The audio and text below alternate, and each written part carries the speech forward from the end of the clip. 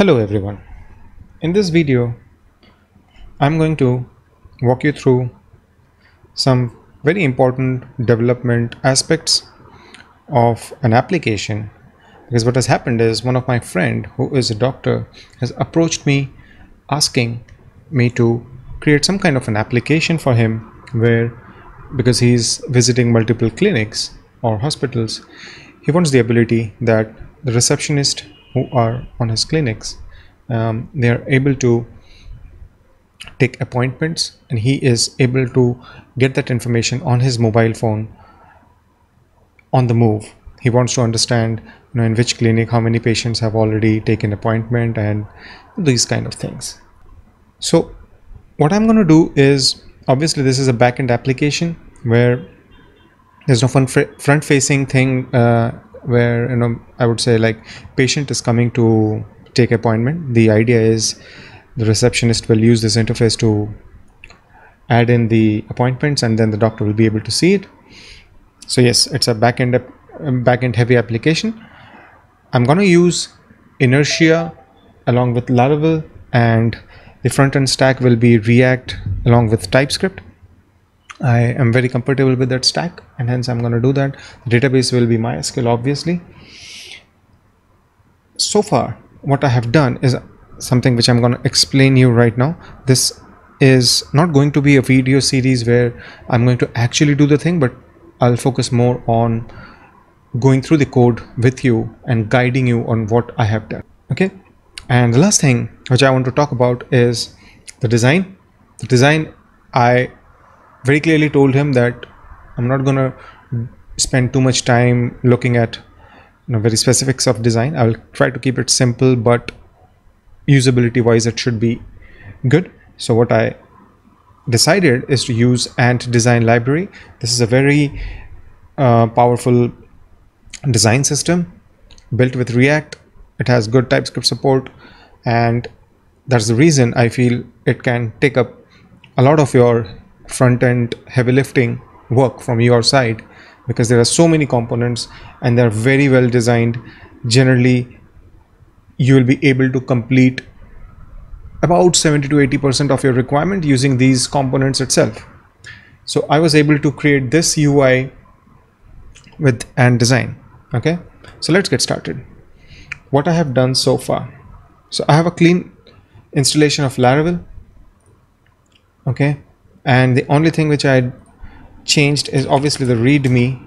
I added these entities so I have I need to have places. I'm calling those places because the place can be a clinic or it can be a hospital. So add a new place. That's the idea. There will be receptionists because you know, one place can have multiple receptionists and there will be multiple receptionists looking at uh, the appointments. And then obviously there are appointments and then there are patients. Okay this is at the bare minimum which he which he wanted and and i said okay fine you know this looks quite straightforward i'll do it. So i haven't done anything yet instead of a clean laravel installation on which i have installed inertia.js um, react.js with typescript. Now i have already created a video where you can install and set up inertia along with react and typescript. So what i would suggest is you can go to youtube search for it and you will get this video. And i'm also going to put the link in the description below so that you know you can quickly refer to it.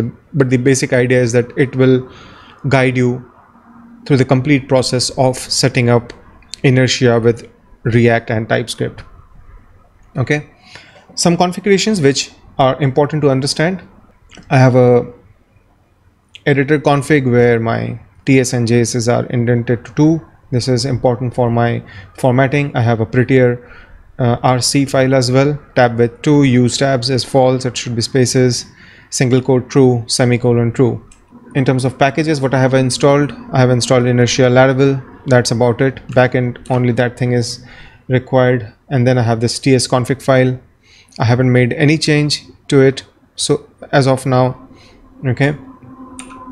In the webpack mix I made certain changes because we are going to use TypeScript. So this is ts other than that nothing else. The entry point is still app.js i've made a little bit of change inside my app.css i've imported the ant design okay and then this is how i'm bootstrapping my application the react application with inertia. Okay this is very standard stuff. You can always refer to the code which i'm going to link below.